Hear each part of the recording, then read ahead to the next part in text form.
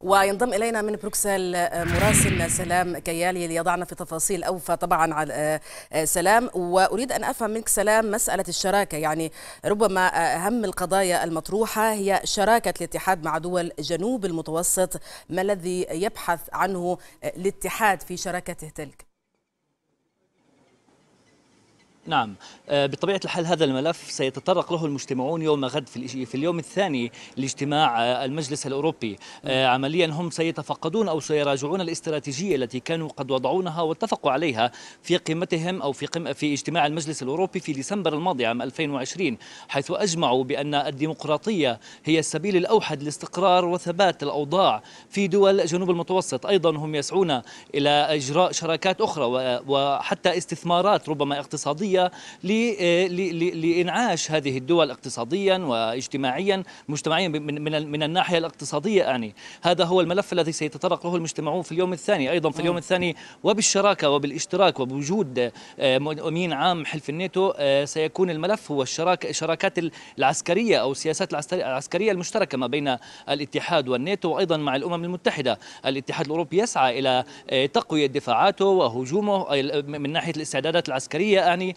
وأيضا سيتم مراجعة ميزانية الدفاع المشتركة وسياسة الأمن المشتركة لدول الحلف وخاصة وبالشراكة مع حلف الناتو سيتم التناقش بما بما يخص ملف الأمن السبراني حيث يتعرض الاتحاد الأوروبي دول الاتحاد الأوروبي تتعرض لهجمات سبرانية في الآونة الأخيرة وهو ما يستدعي لشراكة أعلنت عنها رئيسة المفوضية الأوروبية في زيارة قام بها خلال زيارة قام بها يانس ستولتنبرغ لمقر المفوضية. اليوم هو ربما يكون الملف الأهم بالنسبة للاتحاد الأوروبي بسبب الجائحة. اليوم سيناقشون بشكل على على مدار اليوم. الاجتماع سيبدأ على الساعة الثالثة. سيناقشون ملف كورونا الوضع وضع الجائحة في الاتحاد الأوروبي والسياسات التي ربما قد يتخذونها خاصة أن الأوروبيون يتخوفون من احتمال هل سيكون هناك كلام سلام عن توزيع اللقاحات؟ وكيف سيتم بين دول الاتحاد طبعا؟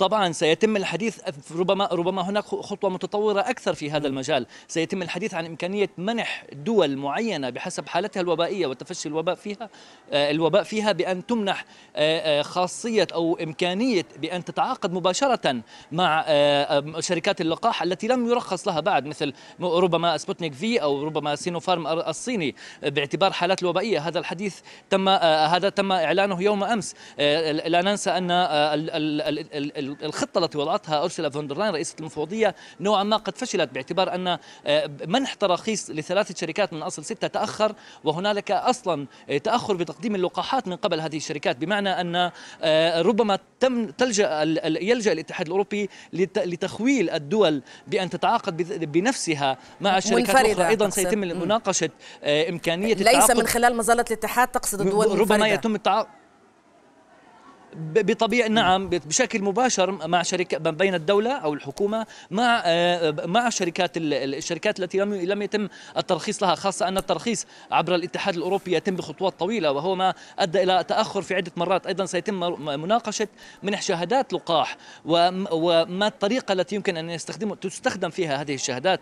هل وهناك سؤال مطروح طرحه يوم أمس في طرح يوم أمس في المؤتمر الصحفي. هل من تلقى اللقاح آمن من الفيروس المتحور الجديد أو حتى من الفيروسات. هل يمكن أن ينقل الفيروس في حال كان قد تلقى لقاح بمعنى هو لن يصاب لكن ربما قد يكون حاملا. هناك تجارب تجرى حاليا على هذه الفكرة وسيتم وعليها سيقرر ما إذا كان الاتحاد الأوروبي سيستخدم هذه اللقاحات لأغراض السفر أم لا.